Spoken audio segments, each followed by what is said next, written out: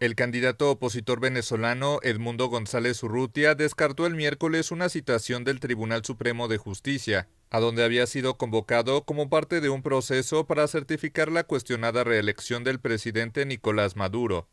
El opositor señaló que el tribunal no puede usurpar las funciones constitucionales del poder electoral y certificar unos resultados que aún no han sido producidos. En un mensaje en redes sociales indicó además que si se presenta, estaría en absoluta vulnerabilidad por indefensión y violación del debido proceso, y pondría en riesgo su libertad y la voluntad del pueblo venezolano.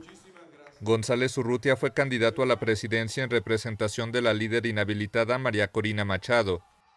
Ambos denuncian fraude y aseguran tener las pruebas que demuestran que la oposición ganó los comicios del 28 de julio.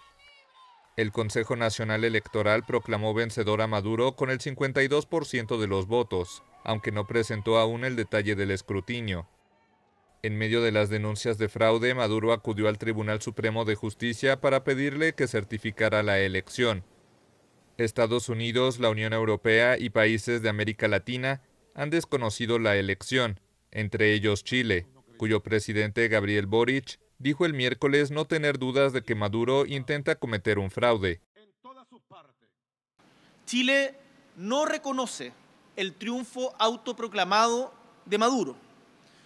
No confiamos además en la independencia ni en la imparcialidad de las actuales instituciones en Venezuela, por lo que hemos planteado como país que no validaremos resultados que no hayan sido verificados por organismos internacionales independientes del régimen.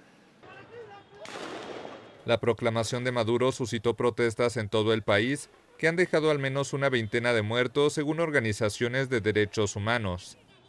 Maduro ha dicho por su parte que van más de 2.200 detenidos, que serán trasladados a dos cárceles de máxima seguridad.